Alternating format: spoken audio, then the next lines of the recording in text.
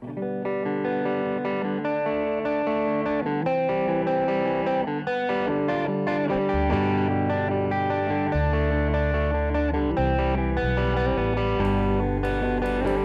kot gledam te črne oblake, raj odpravim se v raj na sprehod.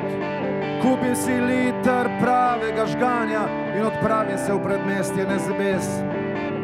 Opazujem ljudi, poznane in tuje, ki zavračajo mi moj pogled. Spostavljam tudi stike s tistim početjem, ki mi prej ni bilo všeč.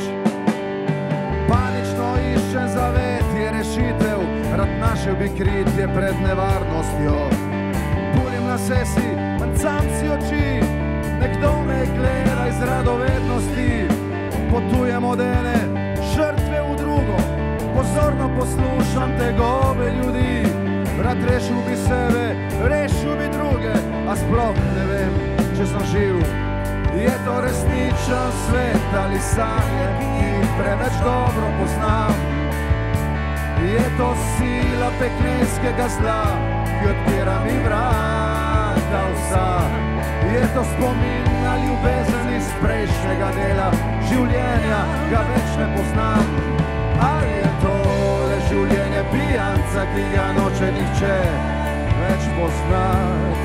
Ali je to le življenje pijanca, ki ga noče nihče več poznati?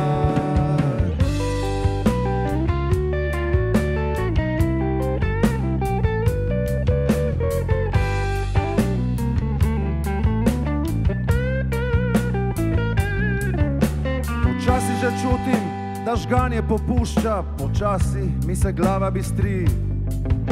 Počasi me spet strah spreletava, same kruta resničnost lovi. Počasi spet vidim na pol manj ljudi, kot sem videl jih užgan. Vidim tudi nekaj ljudi steklenico, prazno po žganju diši. Spet gledam boso zdaj črni vsi. Rad videl bi ptico na nebu, ki očno vejico krepnih drži. Rad bi tudi, da bi sonce me grelo, a tudi sonce zdaj več ne živi. Nimam denarja za še liter žganja in to me tudi najbolj skrbi. Je to resničen svet ali sanje, ki jih preveč dobro poznam.